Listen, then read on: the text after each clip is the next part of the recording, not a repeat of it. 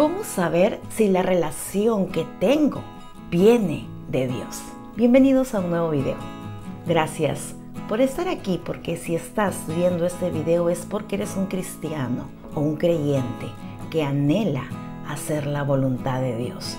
Y una de las más grandes interrogantes que tenemos en nuestra vida cuando somos solteros y estamos quizás en una relación es saber si es la indicada si este noviazgo que tengo, esta persona que me acompaña, que está a mi lado, es de Dios o no es de Dios, o está dentro de los planes del Todopoderoso para mi vida o no, porque no debemos eh, dejarnos guiar por nuestras emociones. El ser humano considera que el amor solamente abarca esas maripositas que sentimos en el pecho, ese deseo incontrolable de pasar tiempo con esa persona que amas, porque el amor es hermoso el amor es bonito, pero el amor cuando alcanza a ser el amor ágape que la palabra de Dios nos dice va más allá.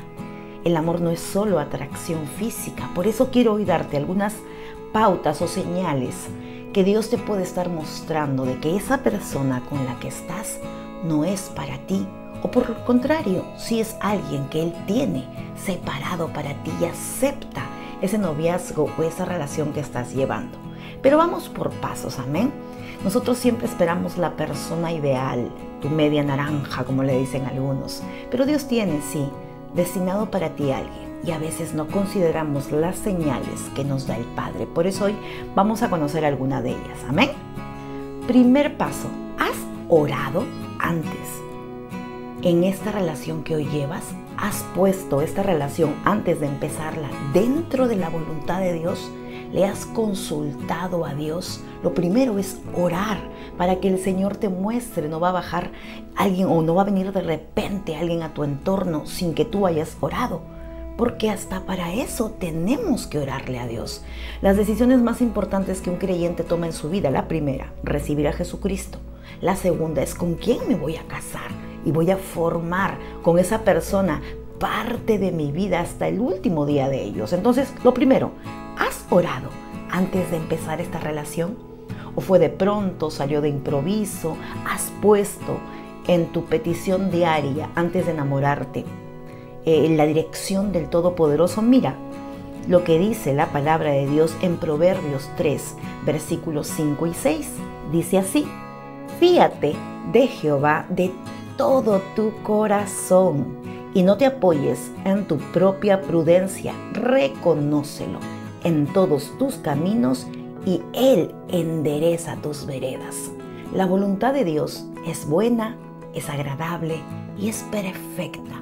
Y muchas veces nosotros necesitamos algo o deseamos algo en nuestras vidas, deseamos de repente compartir tu, tu vida entera con alguien y quizás no es de Dios, porque antes no te has fiado de todo tu corazón de Jehová y lo has puesto a Él como el camino para tomar esa decisión de compartir tu vida con alguien. Por eso mi pregunta es, ¿has orado? ¿Le has pedido a Dios dirección antes de empezar esta relación? Si es así, gloria a Dios, vamos por buen paso, porque puede ser que esa persona que hoy comparte tiempo contigo sea el resultado de un tiempo de oración. Antes de yo casarme, oraba mucho a Dios para que me casara con el hombre indicado que Él tenía para mí o que iba a compartir mi vida conmigo. Y me equivoqué muchas veces, obviamente, por no escuchar la voz de Dios, por apresurarme, ¿no? Por eso siempre tenemos que consultar a Dios, orarle al Padre específicamente, amén. Un hombre temeroso de Dios, una mujer que ame tu palabra, una mujer que te siga, un hombre que te sirva. Porque este video es para cristianos, amén, para aquellos que se, se disponen a hacer la voluntad de Dios y se dejan guiar por lo que la palabra dice, no por nuestras propias emociones, amén. Segundo paso para darte cuenta si tu relación viene del Padre o no viene del Padre. ¿Cómo empezó esta relación? ¿Cómo inició? ¿Cuál fue el principio de este gran amor que hoy sientes por esa persona? A ver, nosotros tenemos como hijos de Dios principios basados en la palabra. Amén. Él nos recomienda, él, hay cosas que Él no va a cambiar. Amén. Él no, él no desea el divorcio, Él aborrece el divorcio. Él no va a bendecir la unión de alguien que, que entró en una relación de matrimonio. No es de Dios, no es bíblico, no está estipulado aquí. Amén. ¿Cómo empezó tu relación? Fue solo porque fue una atracción física, como le decían aquí, un clic Claro que te tiene que gustar la persona con la que vas a compartir tu vida, obviamente. Tiene que haber un gusto, que se atraigan los dos, pero solamente fue eso. Fue algo impactante que de pronto te... No, una relación tiene que empezar porque sea el resultado de lo primero, tu tiempo de oración. Por eso te pregunto, ¿cómo empezó? ¿Empezó bien? Dice la palabra de Dios en Proverbios 19, quiero que me acompañes. Mas el que camina en integridad anda confiado Amén. Mas el que pervierte sus caminos será quebrantado. Por ahí dicen que todo lo que mal empieza, mal acaba. Yo creo que Dios es un Dios de restauración. Y he conocido muchas historias de personas que lograron casarse y pudieron restaurar su relación en Cristo y hoy soy bendecidos. Son quizás hasta pastores, liderando iglesias, liderando gente. Pero tú analiza por dentro, mujer de Dios, cómo empezó esa relación porque te sentías sola, porque quizás estabas desesperada y pensaste que ibas a quedarte sola. ¿Cómo empezó? ¿Cuál fue el principio, amén, de esa relación? ¿En base a qué? ¿Fue solamente porque fue una atracción física o sentiste la aprobación de Dios en ese tiempo? Dios nos da señales, claro que sí, para poder hacer las cosas bien y a su manera. Por eso, ¿fuiste sensible a las señales de Dios o te dejaste solamente guiar porque te sentías sola y no había alguien a tu lado o empezó una relación quebrantando otra, no lo sé. Analiza, escudriña, Espíritu Santo. Muéstrame por qué me uní a esta persona, por qué estoy compartiendo mi tiempo y amando a este hombre, porque en realidad fuiste tú, Señor. Examina y escudriña tu corazón, porque todo lo que el hombre este siembra, eso cosecha. Amén. Si empezó bien, gloria a Dios. Si fue de la manera correcta, gloria a Dios. Y si no, pues hay tiempo. Hay, hay, Dios es un Dios de perdón que puede ayudarnos a restaurar una relación. Amén. Tercer paso para darte cuenta si esa relación viene o no viene de lo alto es que la relación que tienes te acerca a Dios. No es una relación que te aleje, es una relación que te continúa a buscar la presencia de Dios. Pasan problemas, pero están juntos orando, están juntos yendo a la iglesia, congregándose, recibiendo palabra, dejarse liderar hay hombres que no se dejan liderar por un pastor. Hay mujeres que no les gusta ser guiadas en lo espiritual. Necesitamos la ayuda de alguien que ya haya pasado lo que tú estás pasando.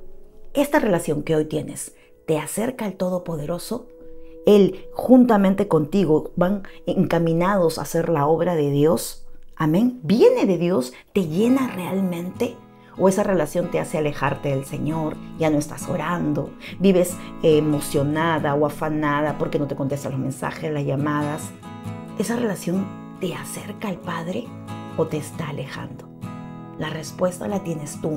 Si te aleja de Dios, no hay nada que el Padre permita que llegue a tu vida que te aleje de Él. Entonces no está dentro de su voluntad. Más bien, por el contrario, si te acerca a Dios, viene del Padre. Amén. Cuarto paso para darte cuenta que esta relación viene o no viene de Dios es cuando esta persona ama a Dios más que a ti.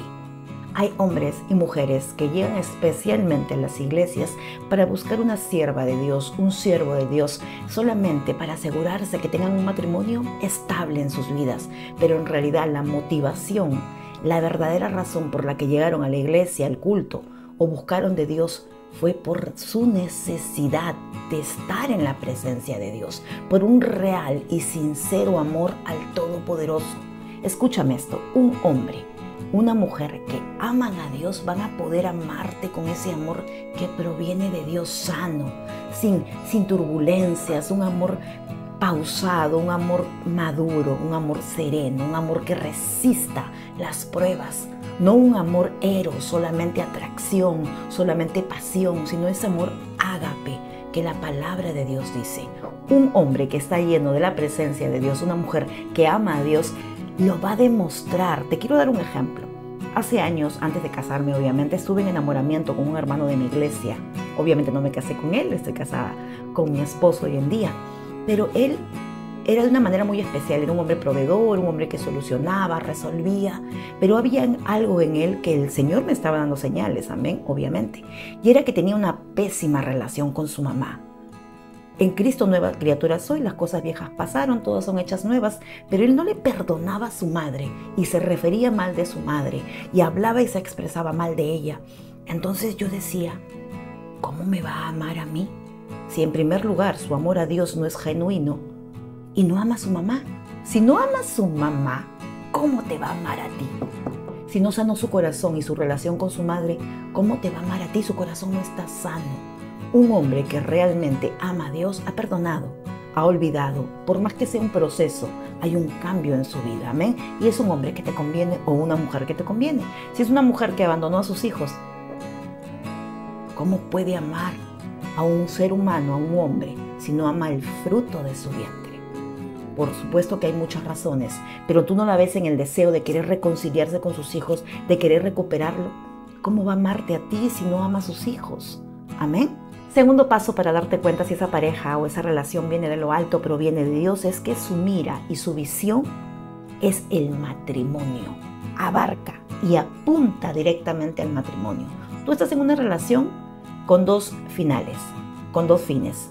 Uno, separarte, terminar y empezar otra nueva. O la segunda, la que un hijo o una hija de Dios mira, es que el fin sea el matrimonio. Si ese hombre o esa mujer no desea casarse, ¿Qué estás esperando? A veces yo veo noviazgos largos, cinco años, seis años. Yo sé que tenemos que primero conocernos, ser amigos y luego entrar en una etapa de noviazgo. Pero si esa persona nunca te ha dicho que te quiere hacer su esposa o quiere casarse contigo con el pasar del tiempo, entonces ¿a qué apunta si la mira y el fin del noviazgo es el matrimonio? El Señor te desea casado. Dice, no es bueno que el hombre esté solo. Le buscaré ayuda idónea. Amén. Y desea que tengamos un matrimonio bendecido. Entonces, si esa persona no apunta y su fin no es el matrimonio y más bien quiere ir respetarte, mancillando el hecho que la palabra de Dios dice que no lo debemos hacer, porque si quiere intimar contigo antes del matrimonio y no quiere casarse, ¿qué haces en esa relación? Conozco gente que por años está en una relación así, conviviendo. Lo estoy conociendo. Es mi pareja. Un hombre que te ama, te valora y te ve como hija de Dios, te pide ser su esposa. ¿Qué estás esperando para salir de una relación que no viene de Dios? Y si por el contrario esa persona sí te ha pedido matrimonio y tú estás esperando mucho, hey, amén, cuidado con eso, todo lo contrario, tú mira en una relación es el matrimonio, sino para qué están juntos. Amén. Sexto paso y último para mí, quizás el más importante, es tener y correr la misma visión, amar lo que tú amas, las almas, apasionarse por, por compartir el Evangelio, que Él y tú tengan la misma fe, profesen la misma fe y vayan encaminados a cumplir el propósito que Dios ha encomendado para sus vidas. No podemos hacer los hijos de Dios un yugo desigual.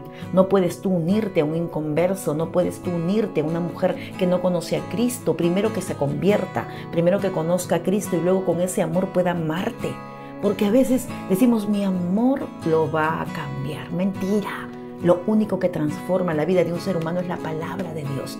Deseas en tu corazón o estás enamorado de alguien que no conoce a Cristo, primero ora porque esa persona se convierta, que conozca el Jesucristo que tú y yo hoy conocemos y en base a ese amor pueda apuntar junto contigo a cumplir los propósitos de Dios. Mi esposo esperó por mí 10 años, oró por mí 10 años, porque yo en mi mente no entendía que Él era el hombre de Dios para mi vida.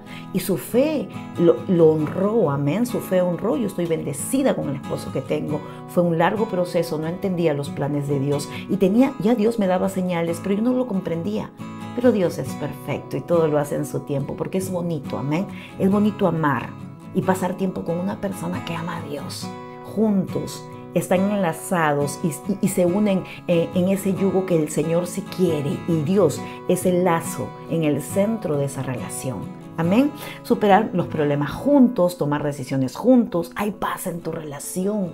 Hay paz en tu relación. Viene de Dios. Si el Señor a través de esta enseñanza te está dando señales. Amén. No te condenes. No te lamentes. Siempre hay un tiempo para volver a empezar.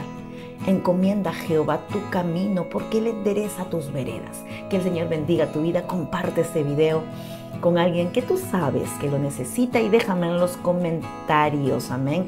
Quiero leerte si el Señor te libró de una relación, si tú reaccionaste a tiempo ante las señales, si Dios en algún momento te mostró a alguien y tú lo dejaste pasar. Dios tiene la pareja correcta para ti. Espera el tiempo de Dios, mujeres solteras. Aprovechen la soltería para servirle a Dios.